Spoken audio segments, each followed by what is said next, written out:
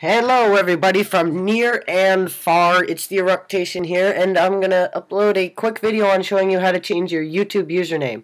And I'm doing this because I wanted to learn how to change mine because I don't really like mine, so I want to change it to something I like and would enjoy to actually look at for a while. So, first thing that you do is, okay, one sec. You, if you're at your home, your homey thing, you get back to home Mr. Home, sister there, and then I changed that to Mr. Game. I was just stupid.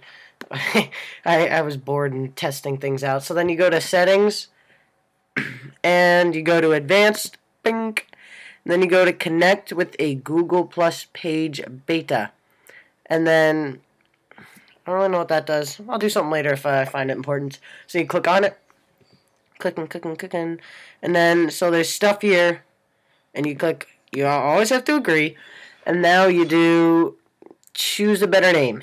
And whatever your better name will be, I don't know, but it is changeable. So right now I'm just going to change it to the new Eructation. Because I'm just that cool and it's new. And then you I'm not really sure about the options, so you just click next next, next, next, next. So it's changing it, and it's going to take a little bit, and boom, updated.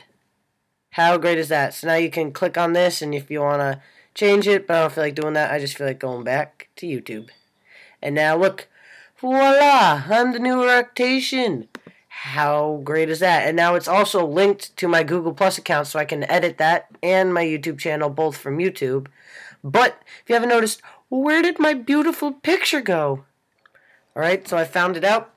I skipped a little bit because, well, I didn't know how to actually do it. So first you go to that thing, you hit the arrow down, and you go to video, I just do it from Video Manager normally. And then you go to Channel Settings, and then from Channel Settings you go to Advanced, and then you just hit the Change button. And then you hit edit on Google Plus, whatever, that doesn't really matter. The new Eructation. Oh, how cool is that? And then you go there. I'm going to select my great one that I have to remake for my computer, which is under my desktop, which is under YouTube. How organized am I? Profile pick. I called it Profine because I suck at typing. And whoa! Magic just happened. Actually, not yet. Magic just happened. You said it. You can do a little bit of editing there if you want, but I don't want to. I just want my beautiful I got money thing post about my new photo.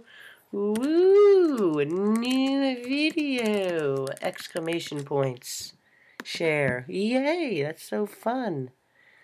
And then boom, look, that's that. There's all my beautiful, great, amazing videos that you would love to check out. That picture I did not upload. I don't know why it's there. And then if you go to YouTube, I just, let's just go back here. My channel. Oops. Refresh. Bing, bing, bing, bing. Look, it's as good as new. It's as good as new. I am so great. Look, it's perfect. So, that's the way to change it. And if you want to revert, rev, revert, re, rev, rev, I don't know, undo that, you can also do that too. So, let's just go to settings.